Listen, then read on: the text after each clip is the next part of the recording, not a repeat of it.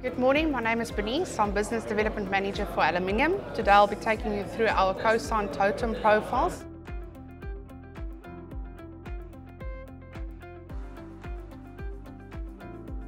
So we can offer you the following profiles. We've got a 50 millimeter totem profile, which you can either illuminate, you can do a top and bottom base plate, which you can cut out out of uh, mild steel or even laser it out of plexiglass or iBond.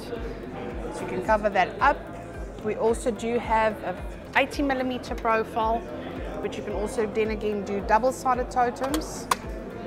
Should you want to do a full-on totem, uh, you can cover the whole profile with your plexiglass or you can even use a cover plate. So should you not want the full totem, we've got the cover plates, half a profile.